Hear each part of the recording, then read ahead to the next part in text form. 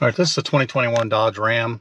Ran something the other day on a job site, um, do construction work. Sometimes I um, have to pull forward to make sure I'm not running over anything or just make sure you're in the right spot.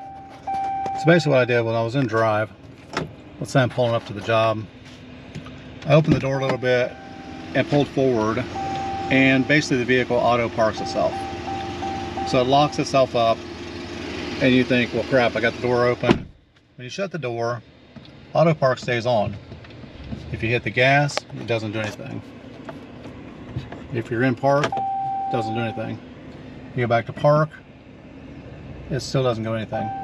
So even in drive, you still can't go anywhere because park is engaged. So what you have to do is you got to reach down and actually push forward on the brake. And then it will disable that temporarily. Next time you try to do it, it may take five or 10 minutes, but it'll lock up again. But the only way to actually get to the point where you can drive forward again is to push the brake and push forward on the parking brake.